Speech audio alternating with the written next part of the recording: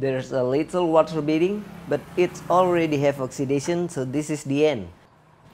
Compared to 845 Collinite, this 476 will last about 2-3 weeks longer. You can check the links in the description. Thanks for watching.